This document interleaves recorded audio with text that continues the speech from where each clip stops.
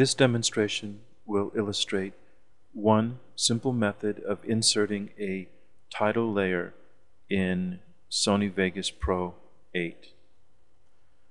First, let's start with a new project.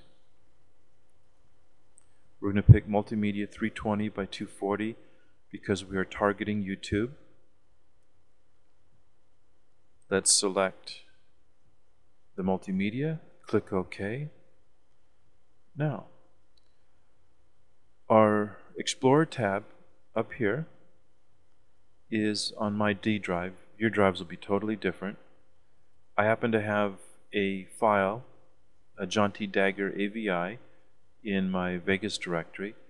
I select this, left click, I'm holding the left mouse button down, I drag it down to the media area, and I release.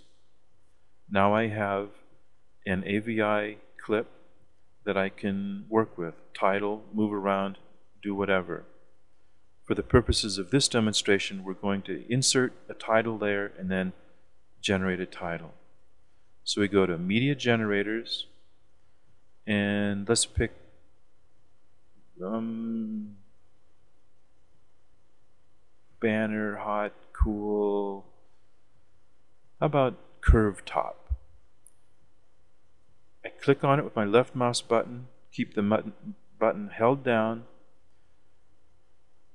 Can you see the, the edge, the right hand side? There I've got black on the top and bottom of my film clip. Now it's at the top, top and bottom.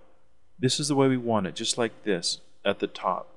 I release my left mouse button, and now I'm presented with an editing screen.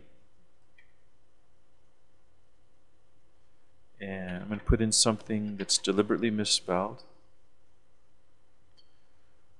Click Exit. And here we have a title layer. We have our video on layer 2 and we have our audio on layer 3. Now if I want to even this title up to the end of the film, I just click in the end when it makes that double line and I drag it over and then see right there that long line popped up? That's a snap to the end of the video. So I just release. Now if we go back to Explorer we can see the proper spelling of Ajanti. Now to edit the title, we right click, bring up the context menu, go to Edit Generated Media, and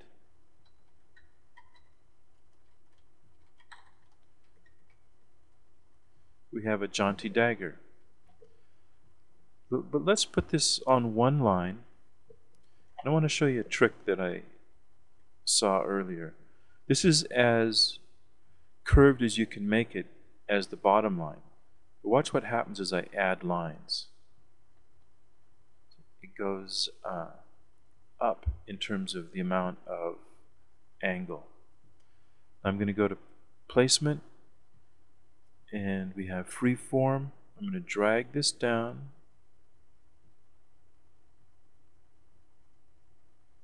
And there we have Ajanti Dagger. We can close this. And once again, I'm grabbing, you can see how the hand turns into a double arrow with a square. I click with the left mouse button when it does that, and I'm dragging this to the left. And let's have the title disappear just when the speech starts. And here we have title.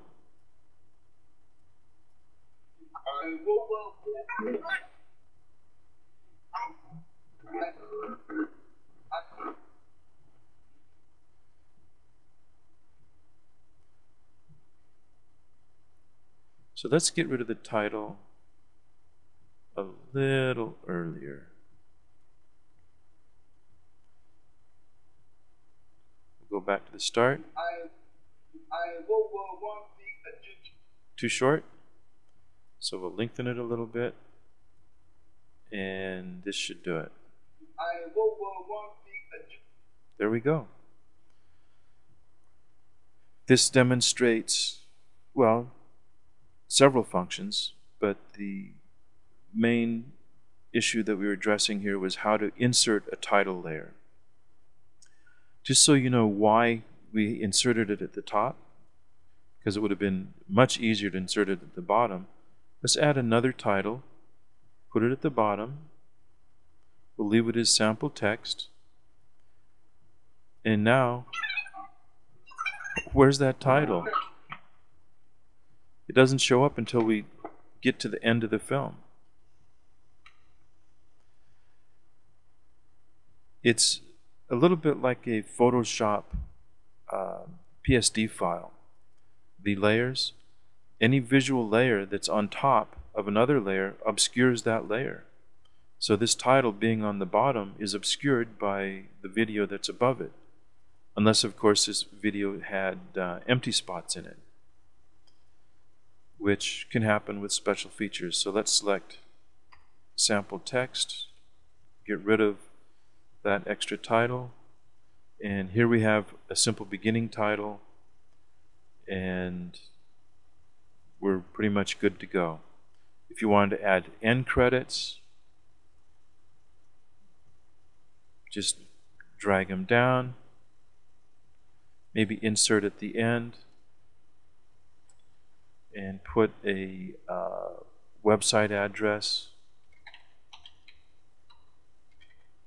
or whatever you happen to want as your end credits.